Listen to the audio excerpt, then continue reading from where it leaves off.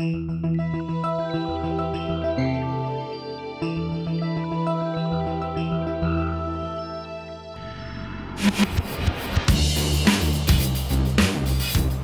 zoals vele steden en gemeenten heeft ook de Gentse haven te kampen met zwerfvuil.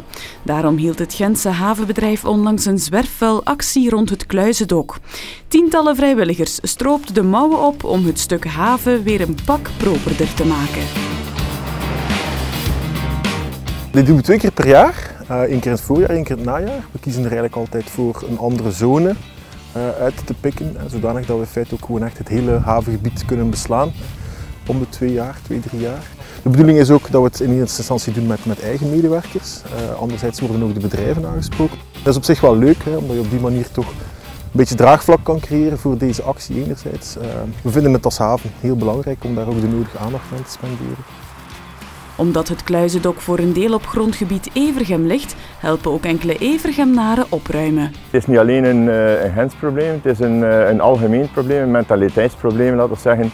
Uh, mensen ja, dus in plaats van een, een, mee te nemen naar huis en, en in de eigen vuil, vuilbak te gooien of er zijn zoveel mogelijkheden of naar het containerpark te brengen, dan gooi je dat gewoon uit de wagen en daar blijft het bij. En dat is ook zeker en vast in Evergem het geval.